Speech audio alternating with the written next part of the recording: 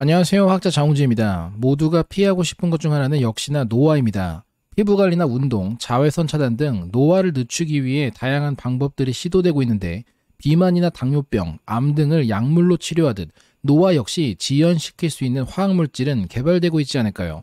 오늘 이야기는 가장 유명한 노화 지연 물질인 라파마이신을 비롯해 가장 유력한 노화 방지 기법과 새로운 후보 물질들에 대한 소개입니다.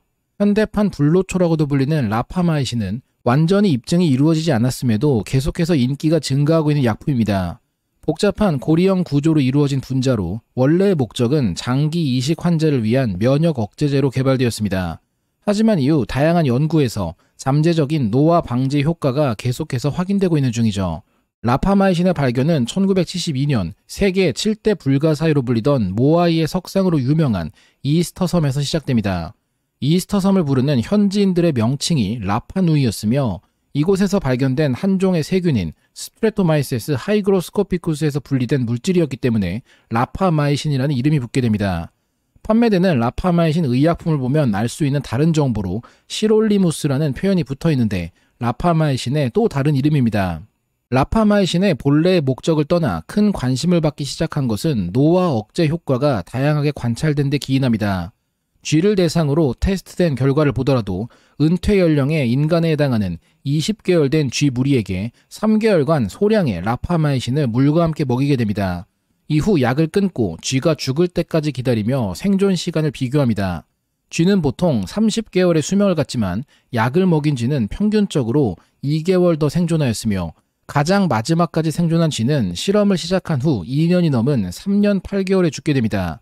이를 인간 나이로 환산한다면 140살 정도가 되는 셈이죠.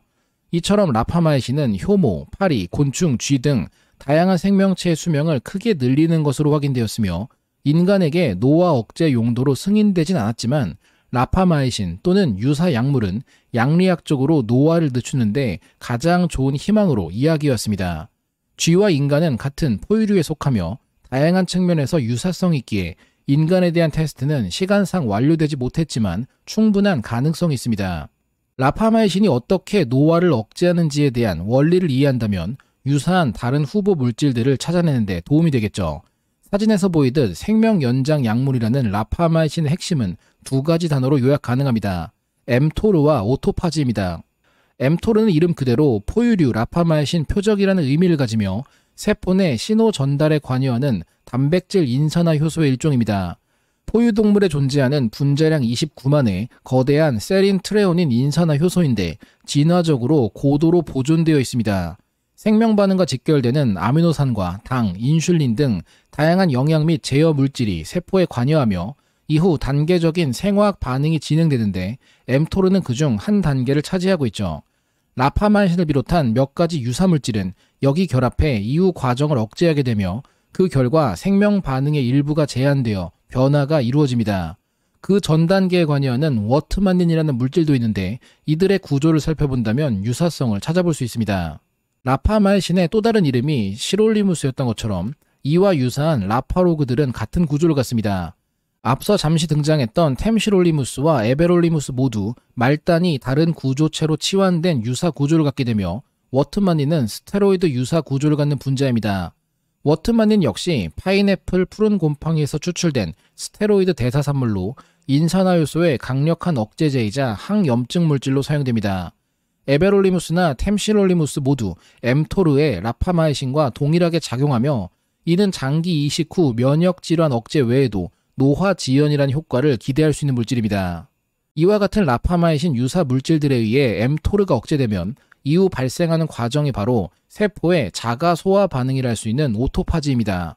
오토파지는 2016년 노벨 생리의학상의 주제이기도 했던 만큼 생명체에게 매우 중요한 작용에 해당하는데 음식과 영양소 공급이 중지되어 엠토르가 꺼지게 되면 인체는 기하 기간 동안 생존할 수 있도록 세포가 자신 내부에 소기관 등을 소화시켜 필요 재료를 얻도록 합니다. 또한 기능 장애가 있는 세포들이 소기관과 분자들을 청소해 에너지를 얻는 과정인 만큼 우리가 나이 들며 정상적인 조직을 막는 찌꺼기들의 축적을 줄이고 분해에 노화 과정을 늦추거나 심지어 역전시키는 결과를 만들게 됩니다. 여기서 한 단계 더 고민해 본다면 평소와는 달리 음식 공급이 이루어지지 않는 상황에서 인위적으로 오토파지를 유발할 수 있음을 추론할 수 있고 우리는 이 과정을 간헐적 단식이라 부르고 있습니다. 이렇게 유력한 라파마이신이지만 누구도 명확하게 인간의 노화 억제 효과가 있다고 주장하기 어려운 것은 인간의 장수에 대한 라파마이신 효과 임상시험이 사실상 불가능한 상황으로 여겨지기 때문입니다. 효과를 이해하고 검증하려면 인간의 생애 주기와 대규모 시험을 고려할 때 최소한 수십 년에서 수백 년이 필요하기 때문이죠. 하지만 인간과 비슷한 연령 관련 쇠퇴를 겪거나 수명 자체는 훨씬 짧은 반려견에 대한 참여 시험은 진행되고 있습니다. 우선적으로 2027년 최초 발표를 목표하고 있습니다. 라파마이신과 유사한 기타 시롤리무스 물질들이었던 라파로그에 대한 인간 임상시험은 몇 가지 진행되고 있는데 최근 검토 결과에 따르면 심혈관계와 면역계, 피부 건강에 매우 긍정적인 효과가 관찰되었지만 내분비계나 근육, 뇌에는 개선점이 없던 것으로 나타났습니다. 자원봉사자를 대상으로 한 안전성 연구에서 특별한 부작용이 나타나진 않았지만 기존 노환 관련 질환이 있던 사람들은 오히려 감염이 증가하고 콜레스테롤과 기타 혈중 지질 수치가 늘어나 아마도 라파마이신 등을 활용하려면 젊을 때부터 미리 복용하는 것이 최선책으로 추정되고 있습니다. 다른 물질 중 노화 지연 효과가 나타난 사례도 최근 등장했는데 언제나처럼 원래 목적과는 달리 부가적인 효과로 노화 억제가 발견된 경우입니다. 미페프리스토는 임신 초기 낙태를 유발하는 용도로 사용되는 약품입니다. 자궁 착상과 관련된 프로게스테론 수용체에 대신 결합하는 방식으로 임신 초기 63일 동안은 97%의 효과를 보여 이 목적으로 사용되고 있으며 미소프로스톨이라는 물질과 함께 처리되어 효과를 높입니다. 미소프로스톨은 자궁 수축을 유도하는 약물로 작용합니다. 하지만 이들 역시 그 외 목적으로도 사용되고 있겠죠. 미페프리스토는 최근 췌장 선암 치료를 위한 백혈병 억제 인자 수용체의 기량제로 가능성이 확인되었습니다. 췌장암은 암 사망 주요 원인 중 하나이며 치료가 매우 어려운 질병으로 여겨집니다. 미페프리스톤이 여기 관여해 잠재적 치료 후보로 떠오르고 있으며 쿠싱병과 기타 몇 종의 암에 대해서도 효과를 보입니다. 미소프로스톨은 위궤양과 십이지장 궤양의 치료와 예방에도 사용됩니다. 최근 초파리를 대상으로 한 연구에서 미페프리스톤이 수명을 증가시키는 효과가 확인되어 라파마이신 효과와의 비교가 이루어졌습니다. 두 번의 실험 데이터만을 기준으로 본다면 처녀 상태의 초파리와 짝짓기 후 배란을 마친 초파리를 기준할 때 배란은 모체에 큰 변화를 일으키고 수명을 줄이는 결과를 갖는 것으로 보입니다. 하지만 짝짓기 후 초파리에 미페프리스톤이나 라파마이신을 먹였을 때 수명 연장 효과가 확연하게 드러나는데 라파마이신의 경우 평균 81%의 중간 수명값 증가가 보이고 미페프리스톤은 평균 114%의 수명 증가가 관찰됩니다. 하지만 이들을 동시에 처리했을 때는 오히려 수명 증가 없이 감소 효과가 나타나 두 가지 물질이 동일 방식으로 작용해 과량에서 나타나는 독성 효과로 확인됩니다. 미페프리스톤과 라파마이신이 수명을 연장시키는 방식을 이 기회에 조금 더 구체적으로 분석한 결과 오토파지만이 아닌 마이토파지를 유발하기 때문으로 해석됩니다. 마이토파지는 손상되거나 기능 이상이 발생한 미토콘드리아를 분해해 재활용하는 세포의 성소 과정에 해당합니다. 손상된 미토콘드리아는 노화와 연령 관련 질병들과 밀접한 관련이 있다고 알려져 있던 만큼 노화 지연에 관여할 수 있으며 이 두 가지 경로 모두 세포의 청소 작업을 통해 문제 요소가 있는 것들을 제거하는 방식으로 생명체의 수명을 증가시킵니다. 약물 복용보다 더욱 간단한 방식이자 우리가 실제로 적용할 수 있는 것은 간헐적 단식이겠죠. 간헐적 단식의 목적은 칼로리 제한으로 이해할 수 있습니다. 지난 90여 년간의 연구에 따르면 칼로리 제한은 효모, 선충류, 쥐 등 다양한 유기체의 수명을 연장하는 것으로 확인됩니다. 여기서 이야기하는 칼로리 제한의 기준은 과학적 관점에서 칼로리 섭취량을 정상보다 10에서 50% 범위에서 줄이는 것을 의미합니다. 며칠 동안 식사를 아예 중단하는 것은 간헐적 기준을 벗어나 오히려 문제가 될 수 있습니다. 하루 한 끼 정도 덜 먹는 게 적당하겠죠.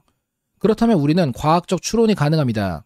단식이나 금식으로 수명 연장이라는 결과가 얻어진다는 것은 그 과정에서 인체 내에서 평소와는 다른 화학 반응이 진행된다는 것이며 그 반응에서 발생하는 간헐적 단식 유래, 화학 분자가 무엇인지를 찾아낸다면 간헐적 단식 없이 간헐적 단식 효과를 얻는 것도 가능하지 않을까요? 테스트는 쥐를 대상으로 최근 이루어졌습니다. 칼로리 공급 제한을 받은 쥐와 식이 제한 없는 쥐의 혈액 샘플에서 1200개 이상의 대사 분자 수준으로 분석이 진행됩니다. 그리고 칼로리 제한이 있을 때 200여 개의 분자들이 오히려 풍부해진다는 사실이 발견됩니다. 칼로리 공급 제한은 당분 공급과 연관되며 앞서 살펴본 신호 체계도를 참고한다면 에너지 부족 상황에서 발생하는 다양한 생화학적 경로를 활성화하는 단백질인 AMPK를 이들 중 어떤 물질이 자극하는지 확인할 수 있습니다. 그 결과 알 수 있던 것은 수많은 물질 중 LCA라 표시된 리토콜산이 중요 후보라는 것입니다. 리토콜산은 스테로이드 구조를 갖는 지질 분자입니다.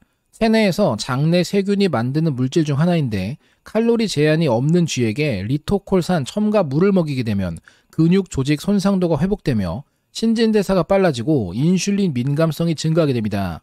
당분에 대한 반응이 개선되고 세포 내 에너지 생성 소기관인 미토콘드리아 수와 성능이 개선되는 것이 확인됩니다.